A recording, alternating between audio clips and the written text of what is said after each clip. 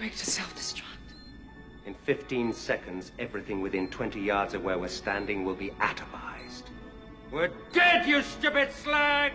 Don't count on it, chum.